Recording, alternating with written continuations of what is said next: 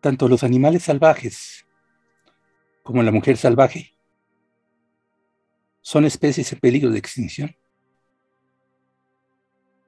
En el transcurso del tiempo, hemos presenciado cómo se ha saqueado, rechazado y reestructurado la naturaleza femenina instintiva.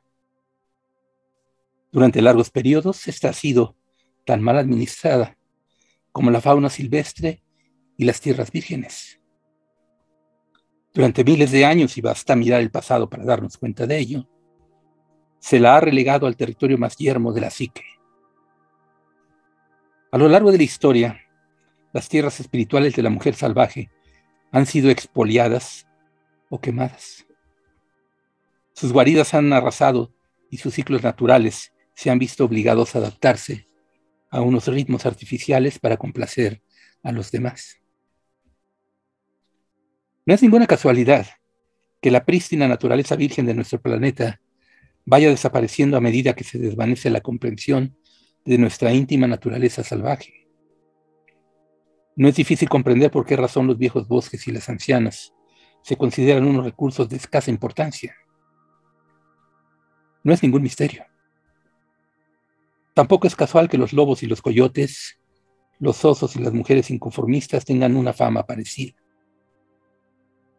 Todos ellos comparten unos arquetipos instintivos semejantes y como tales se les considera erróneamente poco gratos, total y congénitamente peligrosos y voraces.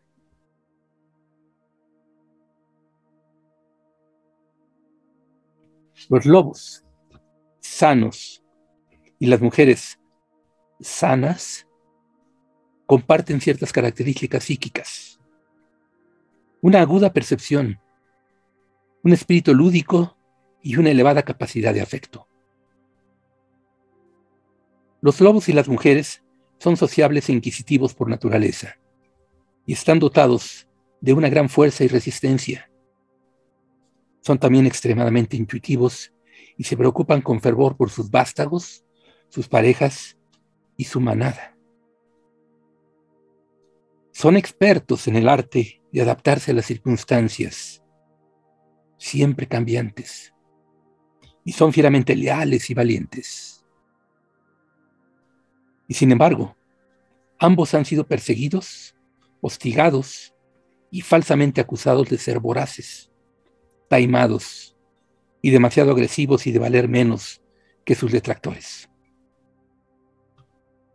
Han sido el blanco de aquellos que no solo quisieran limpiar la selva, sino también el territorio salvaje de la psique, sofocando lo instintivo hasta el punto de no dejar ni rastro de él. La depredación que ejercen sobre los lobos y las mujeres aquellos que no los comprenden es sorprendentemente similar. Por consiguiente, fue ahí, en el estudio de los lobos, donde por primera vez cristalizó en mí el concepto del arquetipo de la mujer salvaje. He estudiado también a otras criaturas, como por ejemplo el oso, el elefante y esos pájaros del alma que son las mariposas. Las características de cada especie ofrecen abundantes indicios de lo que es posible conocer acerca de la psique instintiva femenina. Aunque entonces no la llamaba con este nombre, mi amor por la mujer salvaje nació cuando era una niña.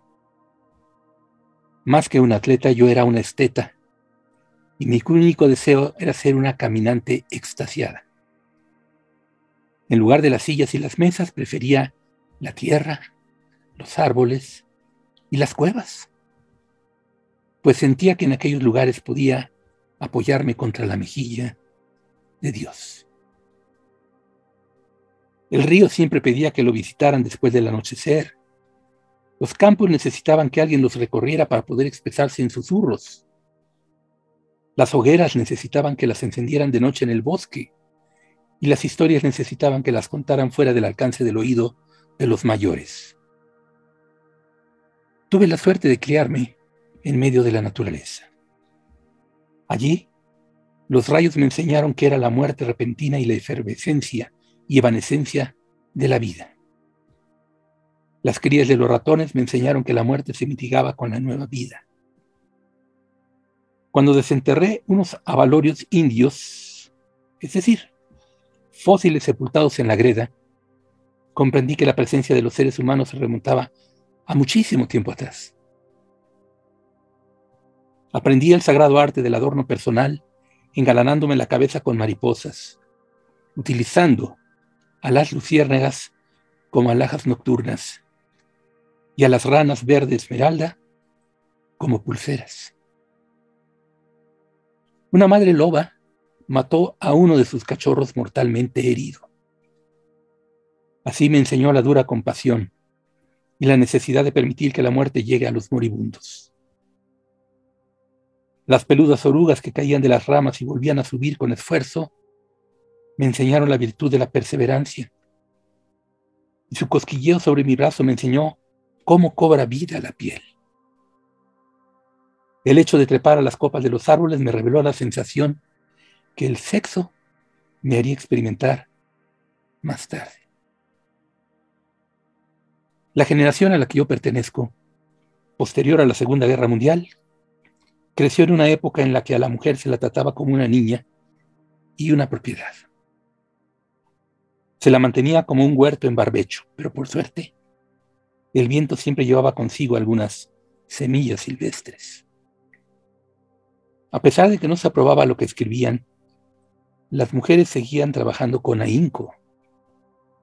A pesar de que no se reconocía el menor mérito a lo que pintaban, sus obras alimentaban el espíritu.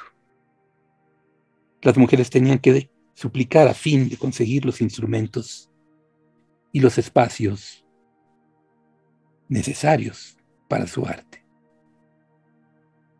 Y si no obtenían nada, hallaban el espacio, el suyo, en los árboles, las cuevas, los bosques y los roperos. El baile apenas se toleraba con el mejor de los casos, por lo cual ellas bailaban en el bosque donde nadie podía verlas, o en el sótano, o cuando salían a sacar la basura. Acicalamiento suscitaba recelos.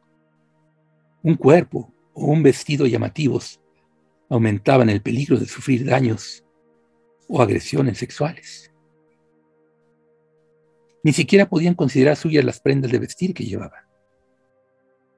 Era una época en la que los padres que maltrataban a sus hijos eran llamados simplemente severos, en la que las heridas espirituales de las mujeres tremendamente explotadas se calificaban de agotamientos nerviosos, en la que las chicas y las mujeres bien fajadas, refrenadas y abozaladas, se llamaban buenas, y las hembras que conseguían quitarse el collar para disfrutar de uno o dos momentos de vida, se tachaban de malas. Por consiguiente, como otras muchas mujeres antes y después de mí, viví mi vida como una criatura disfrazada, tal como habían hecho mis parientes y amigas, mayores que yo. Me contoneaba, tambaleaba sobre mis zapatos de tacón y me ponía vestido y sombrero para ir a la iglesia. Pero mi espléndida cola asomaba a menudo por debajo del dobladillo de la falda. Y movía tanto las orejas que el sombrero me caía por lo menos sobre los ojos. Y a veces hasta cruzaba, volando, la habitación. escoba debajo de mí. No he olvidado la canción de aquellos siniestros años, Hambre del alma. La canción del alma hambrienta. Pero tampoco he olvidado el jubiloso canto hondo, cuyas palabras evocamos cuando nos entregamos a la tarea de la restauración del alma.